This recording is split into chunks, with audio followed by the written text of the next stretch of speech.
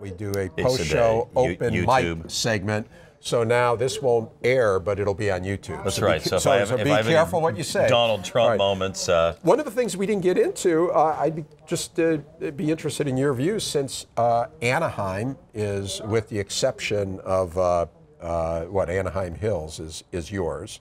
So you have the whole resort district. Right. You've got Angel Stadium and Honda Center, and the Platinum Triangle and all that. There's a lot going on there. Are, have you gotten involved in the Angel uh, talks with the city at all? I, I haven't really gotten involved in that. I, there's enough people involved in that aspect. You know, I've got uh, one of my staff members is running for one of the new council districts. That's certainly uh, Who's that? Mark Lopez. Oh, okay. and he's running in the new district where the uh, sort of the stadium, the Honda Center, the Platinum. Triangle, and then it runs kind of down the 57 corridor to the 91.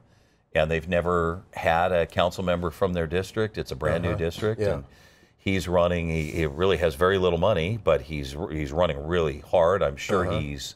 He must be showing up number one in the polls Uh-huh. Yeah. because they're carpet bombing him in, uh, Yeah. with the hit pieces. So obviously he's doing So, something uh, right. uh, so what? Uh, uh, um, the uh, uh, with Anaheim, is it more like what? What do they ask of you as the supervisor? Because I would think Anaheim pretty much has their infrastructure. They deal with all that stuff. Is it like Shawn, just leave us alone, or do they come to you for No, certain no. They're, things? well, they're very active, and they're very active on all the regional boards. What Anaheim has is sophistication, and, and they've got depth of staff. Whereas if you go to a La Habra Placentia, where you're dealing more with 50,000 people, they don't have the ability to take a Hail Mary for a grant. So there may be money that would be appropriate for La Habra, but in many cases, and I've tried to change that since I've been here because I, I, I felt it when I was in Fullerton, Anaheim has the staff to go after all those long shot asks, whereas a lot of the cities, because they're smaller, Rick, even if it's not a long shot, they don't have Yeah. the staff to dedicate to it. Now, So, you know, O- OCTA has a lot of interplay with Anaheim because they're so big, so much in- infrastructure. But, uh, you know, Anaheim is sort of my Irvine. They have, uh, they, they, they have a lot of political infighting, and I, I really try, and I hope I've been successful. I, I think I have. Just, just not getting sucked into that vortex. You know, the last time Yeah. around, I politically I endorsed the people on both sides, and I just, guys, you're, you're all my friends. I could counsel you on the fights, but I'm not going to. You can fight it out, but just, just don't drag me into your arguments. I'm not part of them. I, I'm friends with all of you, and these are really esoteric issues that are, in many cases, splitting hairs the average guy wouldn't even understand anyway. One other thing I wanted to ask you about, uh, well, maybe two things. We'll see how, how it goes. But You're transportation. Tra- on transportation, you've been very involved with OCTA, and you still serve on. Yes. You're still on the board. Yeah, and right? I've been the I've been the chair of MetroLink for the last two years, largely in a rescue Uh-huh. operation to rebuild that agency. And I, I think from where it was at to the brink of collapse, really, to now really having a strong Uh-huh. foundation, I think ready to start focusing on the service issues. But they, they had some huge foundational problems uh, before they got to just getting the trains to run on time. They, they couldn't account for money and things. But that's uh, that's just been a quiet sort of feather in my cap that I, I went and helped rebuild that agency. You know, OCTA, to their credit, is so well run. I've been involved and I've enjoyed it, and it's sort of big picture stuff. But um, that that hasn't that has been as much of a challenge as How have you come down? There's been controversy over these rail projects. One proposed for Anaheim, one in Santa Ana. Uh, how have how have you uh, come down on those? Basically, um, my issue's been from the beginning, Rick. These should be about transportation solutions. Santa Ana, when they were tasked with this, picked a, a pretty modest transit solution. Um, what what was originally proposed in Anaheim was largely seen by the Federal Transportation Administration back in D.C. as really more of a sort of a, a corporate service model, which was kind of the, the business travelers, the, the park visitors, and the Basically, a the- Disney shuttle. well, the sports teams, Uh-huh. uh, the FTA, the, the head of the Western region looked me in the eye and just said, "Look, we don't we don't do corporate type shuttle. This isn't what we do." What it was missing was the blue collar ingredient of your your your Monday through Friday Uh-huh. riders. So what I've tried to do is just go back to, and I think they've listened, is go back to the folks in Anaheim and say, "Look."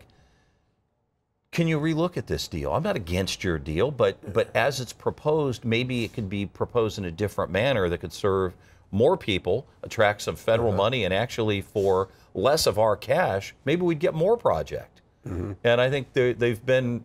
It, it took a while, but when they finally realized I wasn't their enemy, but I was trying to help, um, I think there's been some open minds, and now we're really focusing more on Harbor Boulevard as the corridor to carry all the passengers. And whatever happens with the ARTIC to the uh, Civic Center or the, the Convention Center Park area might be the tail rather than the sole purpose. Okay. And that, that that's really the change. Right. And AQMD, another board you sit on, the Air Quality Management District. There's been a lot going on, a lot of uh, tussling with the state. Are, uh, you know, what's going to happen there? Basically, it looks like the state might take control away from uh, uh, uh, local officials like you. Yeah, that died temporarily. I, I think what you had was a lot of hurt feelings that the you know the administration and, and Kevin De Leon felt that what we should have done uh, in this past year was pinched down more. What it was sold as is we'd rolled back a rule. Rick, the, the AQMD's never rolled back any rule in 20 years. Every rule is just a more stringent version of the last one. So there was a proposal to force all of the petroleum refiners to cut tons of emissions out of the atmosphere a year on top of where they're already at. And the argument became this esoteric argument over whether it should be 12 tons a year, tons, that they should pull out of the atmosphere or 14. And it was a win for everybody, no matter which number we picked. Our board settled on 12 because what we realized is the working poor in this community already have the highest gas prices in the U.S., other than Alaska and Hawaii, uh, maybe in Manhattan. But realistically, we have the largest, the highest prices, and we have the cleanest fuel of anyone.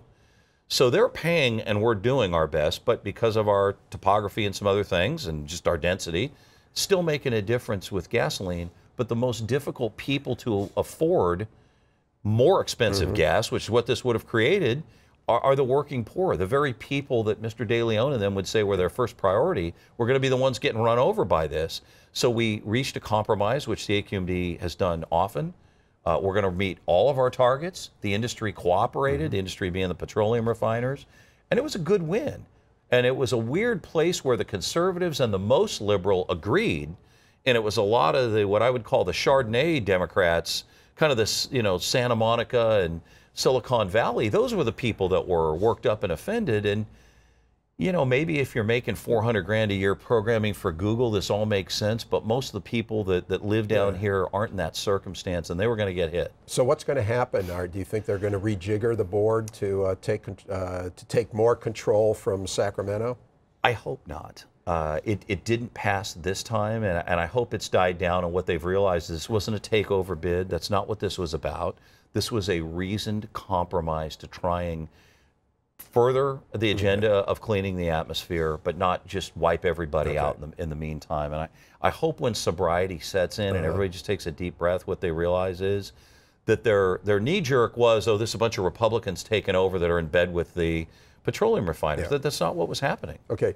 One last tough question because if I don't ask you, people are going to say I let you skate. I don't wanna and, skate. And I, I did mention the pension, and, and you, you corrected me on the particular there. But as you know, there was that argument over your pension, and you know the same unions that have tangled with you on uh, you know the, the the the need to- for them to give back to address the unfunded liability will point out that you've got a nice pension, and I think there was a suggestion, without getting into all the weeds, that you kind of played the system and you very cleverly worked things out so that you got a nice pension for yourself. How do you respond? Well, I don't know about a nice pension. I mean, I, I, I, I work for the county. Our formula is 162 at 65. I mean, that those are so in your case, it's going to be about It's- how it- much a, y- uh, a year? Oh, less- Thirty thousand something. Well, less than Uh, 2% times four of these last four years, so 8% of $145,000. I don't know. All right. I mean, Okay. Yeah, I mean, it, Yeah. it's it, it, it, hey,